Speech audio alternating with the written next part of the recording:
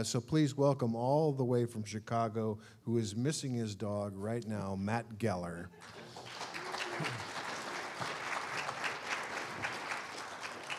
Uh, thanks very much. My name is Matt Geller, and uh, I've only got half an hour to show you all of this. So um, I need to cut out a whole bunch of jokes and uh, not make this too terribly funny. And I apologize for that already.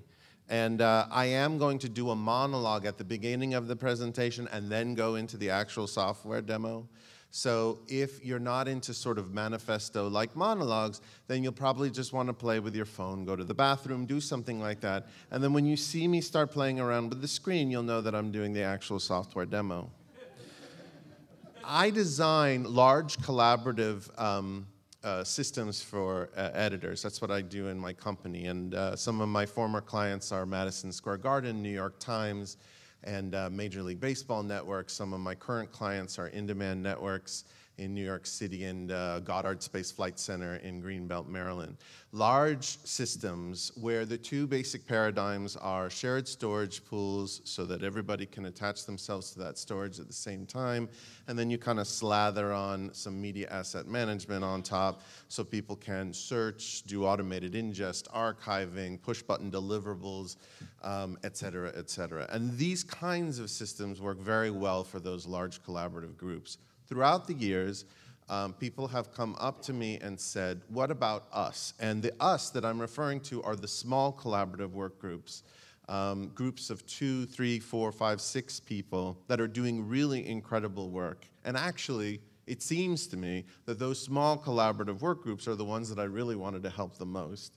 And the fact is, is that I couldn't. And the reason why, most of the time, was that the kinds of systems I put together are too expensive. But there are other reasons too. They require a lot of cooling and redundant power, and you need to rack them in racks. And some of these collaborative work groups would, like event videographers, they would go to an event and they would work together, and then their deliverables are due at the end of the event, like that night or the end of the weekend, or documentarians that had to go on site to gather all their footage, three or four of them, and they wanted to work together collaboratively. And the bottom line is there are systems that are out there that like have handles on them that you can take and, and uh, you know, set them up on site. But the fact was, uh, invariably one of those variables would, would make it unaffordable or too cumbersome for them to, um, to work together collaboratively.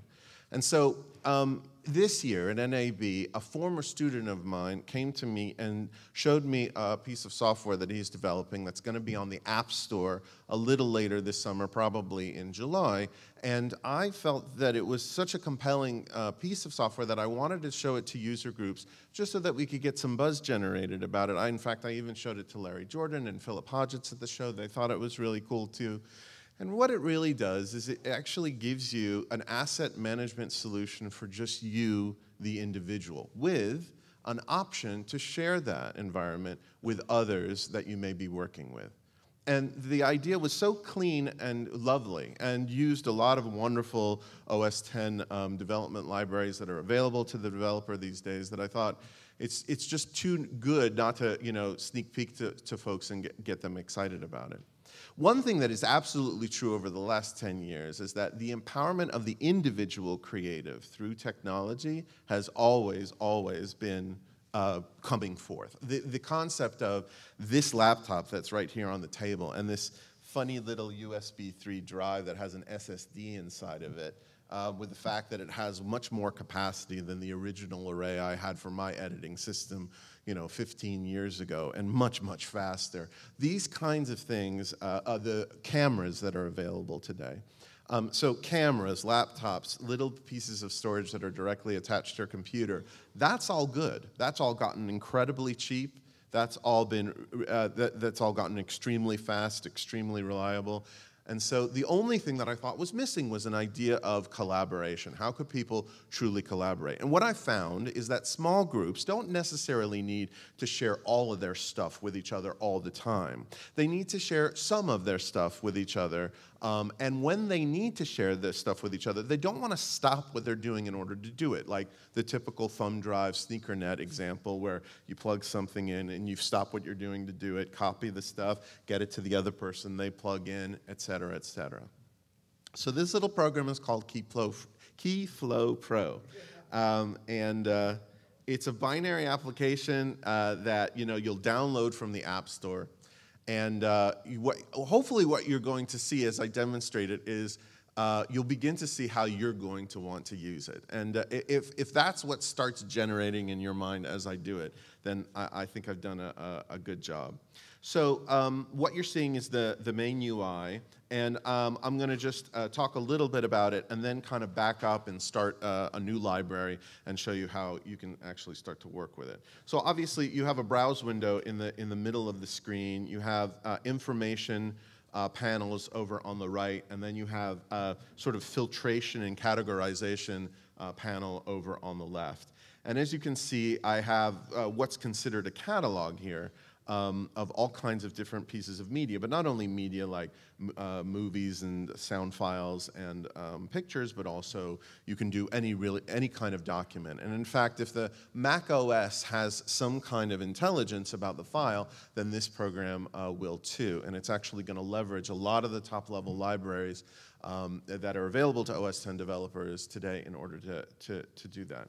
Um, some of the wonderful features that I'll just show you right up front is that when you click on a particular item within your catalog, then over here on the right-hand side, you see a whole bunch of um, information uh, about it, including uh, the actual place where it resides, um, its create and modification dates, uh, and stuff like that. But it also has, you know, color and tag information, which I'll get to in a moment, and of course, additional metadata. Not only metadata that it can derive from particular files like Final Cut Pro movies, but EXIF information from the XMP headers on, on uh, still images. Uh, and of course, you can also create your own custom metadata um, and place that in uh, the, the database so that you can use that to categorize uh, your stuff as well.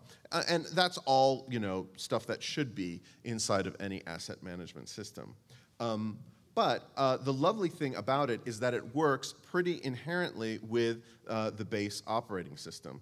So for example, this still image, which is actually located right here on my file system, right? I did a, a little click on this arrow and it brought me right to the, the Finder area. I'm gonna just put this to the side and show you that the interaction of tags and color schemes that you can do inside of the MAM actually go right down to the OS level. I'm going to make this particular item red, and I'm going to enter in tags lovely, delicious, entertaining.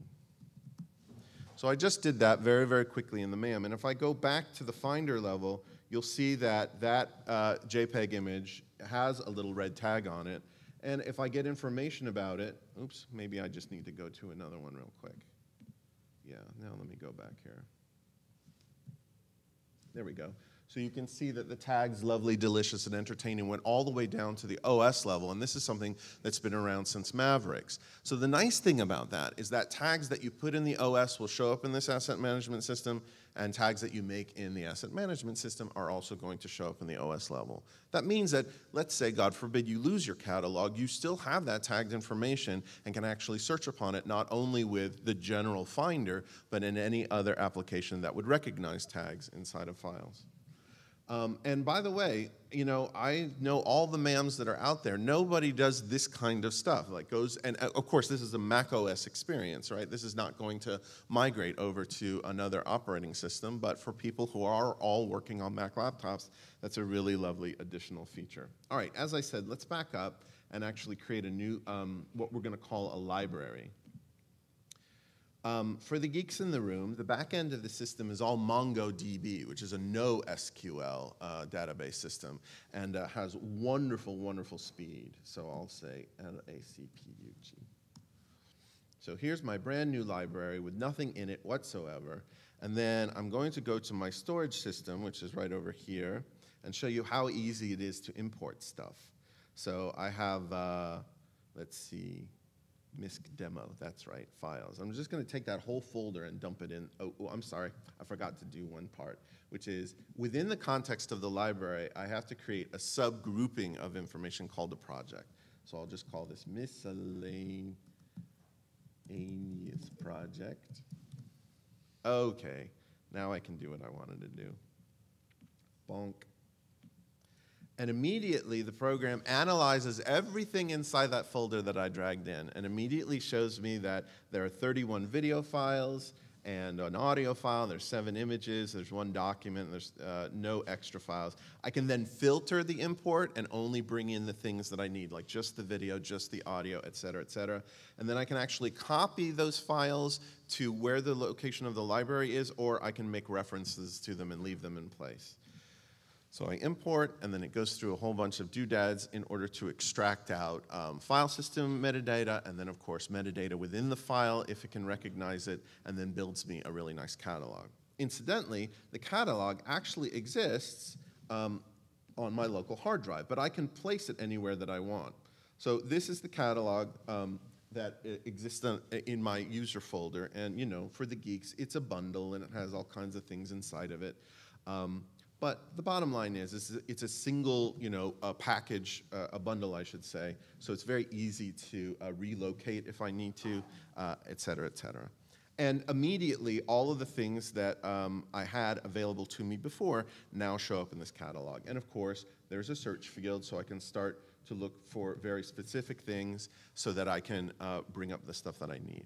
Now, when um, I brought in all this stuff, actually my computer is working pretty uh, heftily right now, as you can see. And the reason why is it is creating proxies for all of the motion video. I don't have to do that if I don't want, but the nice benefit of creating the proxies or the little baby versions of the movies is that if I disconnect this drive, those proxies are still available. So there's another application here. For all of you who have that closet filled with many, many, many FireWire, USB, and Thunderbolt drives, you now have a means by which to plug them in, drag just basically that root level you know, of the hard drive and throw it into this catalog and it'll basically just catalog everything up for you, right? And when it's done, unplug it, put it back on the shelf, and now you have a beautiful catalog of everything that's in that closet and you really know where it is. Um, and that's, that's a really lovely thing. I should show you what it's churning on right now. Here, it's showing you that it's running on a, a particular uh, background job. It's got 25 more to do, and it's basically churning on all the movie files that I threw into it, uh, making these individual proxies. And of course, you can see that it's beautifully multi-core aware. It's taking full advantage of my Core i7 that I have in the system, so it really uh, makes those uh, very, very quickly. Um, okay, so I have done a little bit on search. I want to show a, a, little bit more about uh, filtration, though. I can very quickly filter on video, audio, imagery, document files, uh, et cetera, et cetera. And yes, there is a geolocation feature that's built into it that leverages uh, OS 10's uh, map feature, which is a really uh, just such a lovely thing. And I'll, I'll show you more about how that works in a moment, but that's also built into it. Um, there are also these things called smart media boxes, which uh, sort of work, work like uh, smart folders um, inside of Final Cut 10 or in the Finder, where essentially if I double click on this, there's a set of rules, right? So all of the following are true. Uh, kind equals documents, right? So if I'm just looking um, at this smart media box, I'm just looking at this Word document, or recent photos, photos that uh, I guess this one was photos that uh, created within the last seven days, right? So that would immediately show up. And that is regardless of the library that's open. In case you're curious, you can only have one library open at a time. That's sort of like the modern uh, idea these days that you don't want to confuse yourself, so you only have one of these libraries open. But of course, you can have as many libraries as you wish if you want to differentiate them, or you can really dump everything into one big library. But I did talk about the sharing feature, so I want to show that now.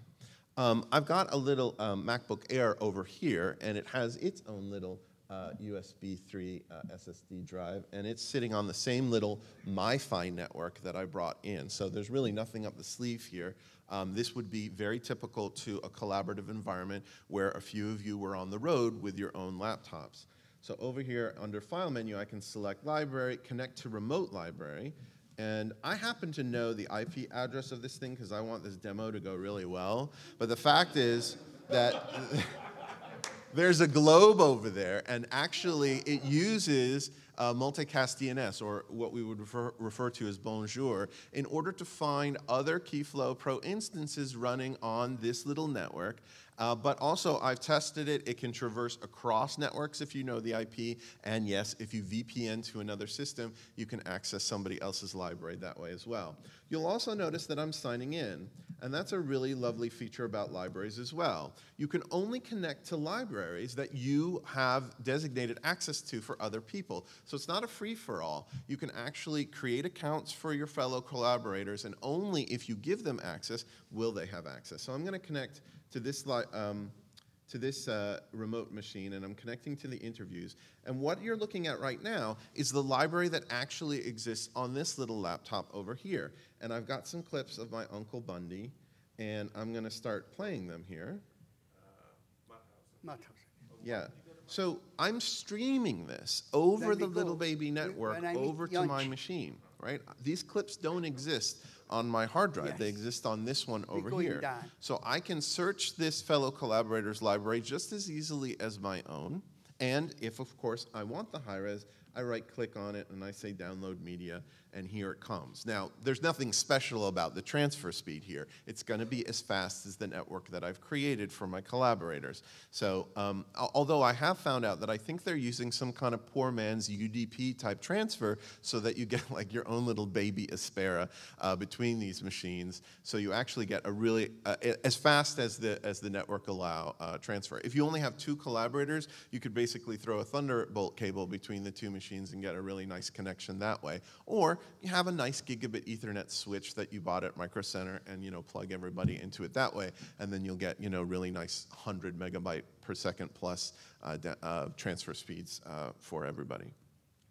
So um, that's that's the greatest I, I think you know takeaway feature of this is not only can it be a personal asset management system for your uh, storage and your workflow, but also you can actually share your catalogs out. And let, let me show a little bit about that. So let me go back to um, a catalog that's local, which was the one that I just created a few moments ago, and um, show you uh, the preference settings for that.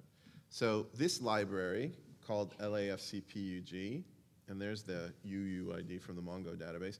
Anyway, if I want other people to be able to um, share with it, I can create accounts here with a username um, and a password.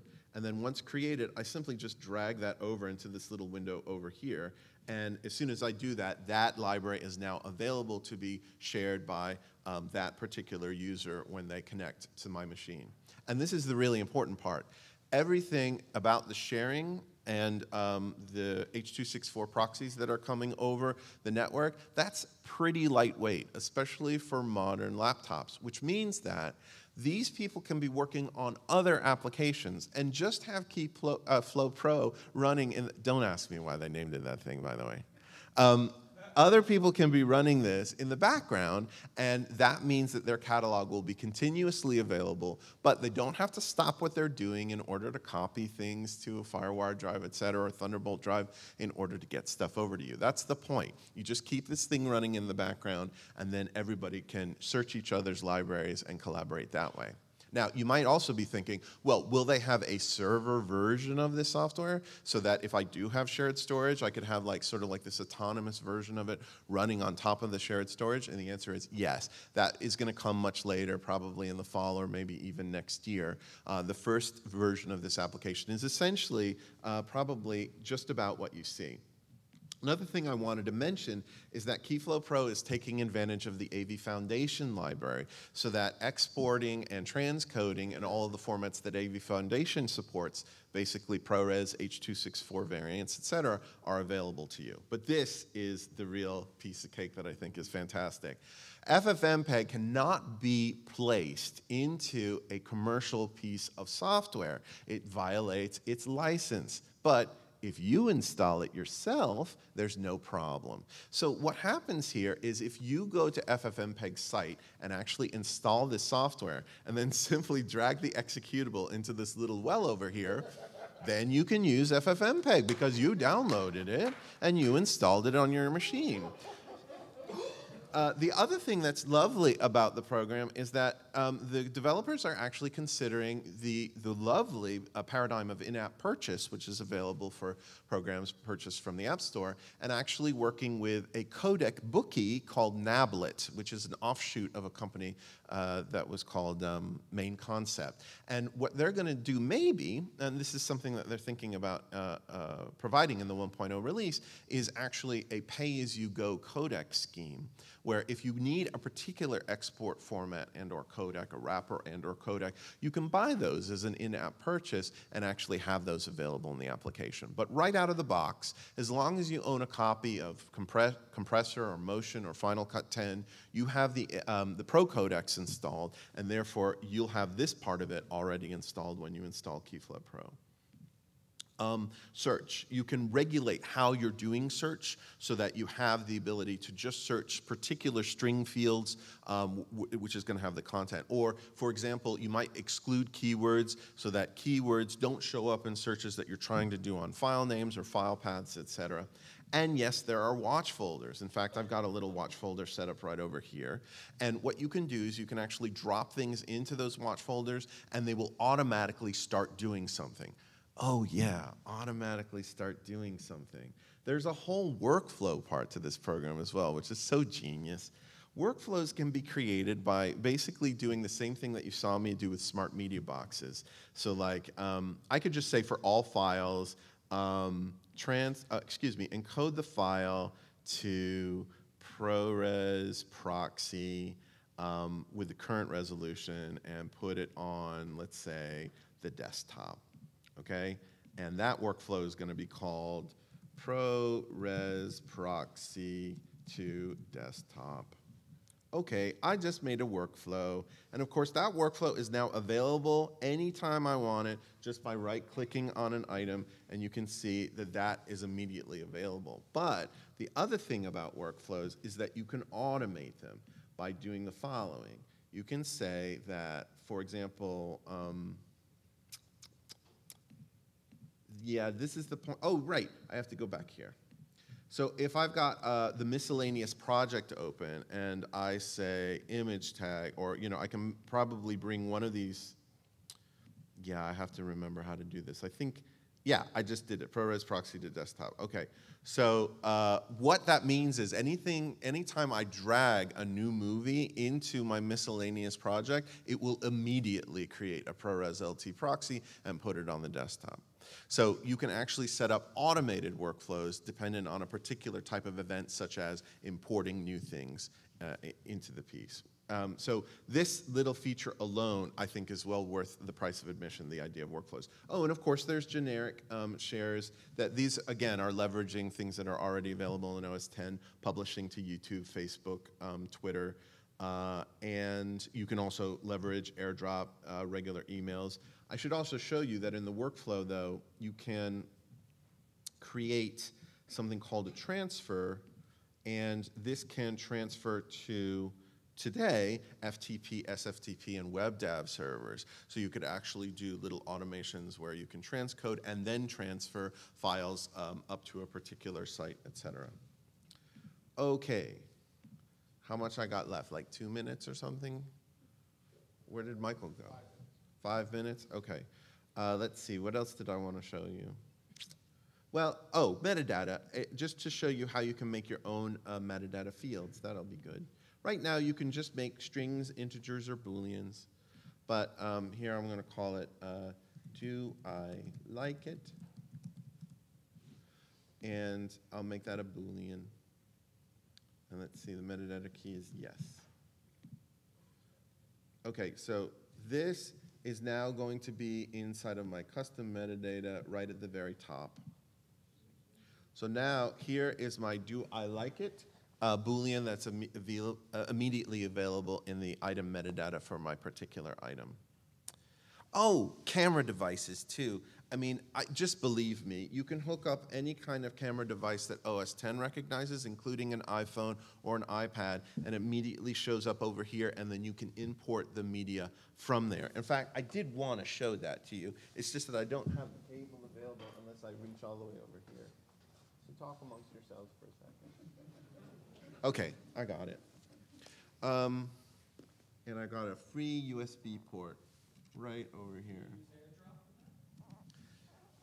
That's a good question. I think what you can do definitely, this kind of supersedes AirDrop to a certain extent, if you think about it, because you don't have to ask somebody for the file that you need.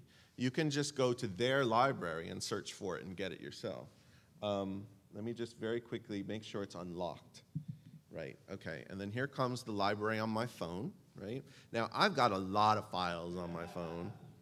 So I'm just gonna, you know, talk at you for a little while while I wait for all the previews to show up from 2011 until 2015. And I thought, should I delete all the photos on my phone so that it would give a better demo?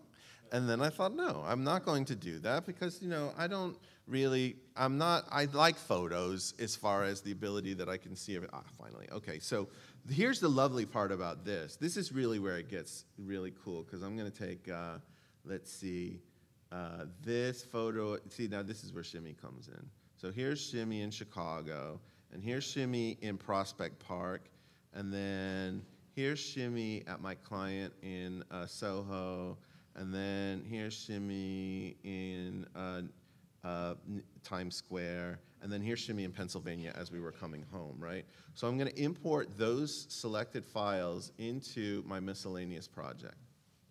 And here they come. Now, in this case, because it's coming off of my phone, it's actually copying the files themselves into the library, right? So it's not doing a reference because it knows that this is probably going to go away anytime soon. But this is really where the maps feature comes in so well. See, all of the, all the things that I just brought in are now showing up. Here's the picture I took of him in Pennsylvania, and if I zoom into New York, right, um, here's the ones that I took of him in Prospect Park, and here's the one in Soho, and here's the one in Times Square. And yeah, you can do searches as long as you're on the internet and say things like Times Square, right? And then all of the photos that were geotagged in that particular location are going to show up.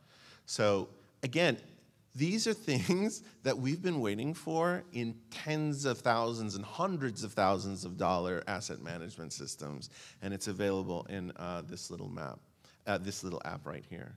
So you're probably wondering how much it's going to cost, and of course I waited until the end because you're supposed to do that in order to build tension. Um, so the developer thinks uh, 299, $299, just like the price of Final Cut Pro will be the base price of this software. You'll see it in the App Store in July. Um, thank you very much for your time. Are there any questions? Yes, sir. Thanks. Prospect Park, and here's the one in Soho, and here's the one in Times Square. And yeah, you can do searches as long as you're on the internet and say things like Times Square right? And then all of the photos that were geotagged in that particular location are going to show up. So again, these are things that we've been waiting for in tens of thousands and hundreds of thousands of dollar asset management systems, and it's available in uh, this little map, uh, this little app right here. So you're probably wondering how much it's going to cost. And of course, I waited until the end because you're supposed to do that in order to build tension. Um, so the developer thinks uh, 299, $299, just like the price of Final Cut Pro will be the base price of this software. You'll see it in the App Store in July. Um, thank you very much for your time. Are there any questions? Yes, sir. Thanks.